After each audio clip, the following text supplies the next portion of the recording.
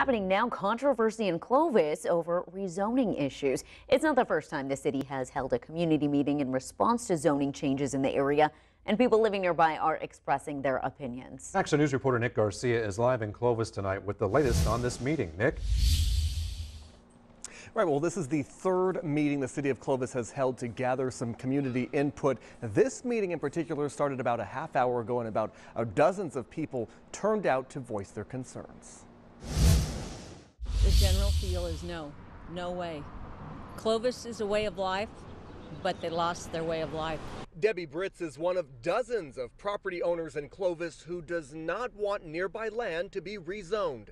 Here's the main area of concern on Temperance near Highway 168. Some of the land uses out there and properties have inconsistent zoning with the land use designation. So what the city is undertaking is efforts to quote unquote clean that up to uh, reconcile some of those inconsistencies. If the city of Clovis rezones, it will pave the way for Granville Homes to build apartments mainly to be used for student and faculty housing by the California Health and Sciences University down the street. Neighbors feel it's inconsistent with what they were promised decades ago. It was destined to be research and technology, and it has been since 1999. We have been under the premise that it will continue to be under this premise. The city said the zoning change is necessary to keep up with the planning laws.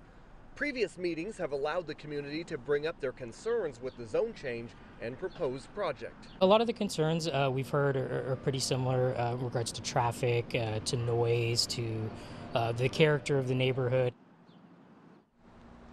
And city policy only requires the city to hold two meetings like this to gather community uh, community input rather. They're holding this third one because of the high number of concerns they received from people living in the area. And we've just learned last half hour or so there will be another meeting that's going to be held in May before the city council votes on this rezoning in June.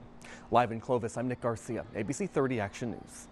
Thank you for watching. For more videos like this from ABC 30, just make sure to hit that subscribe button below.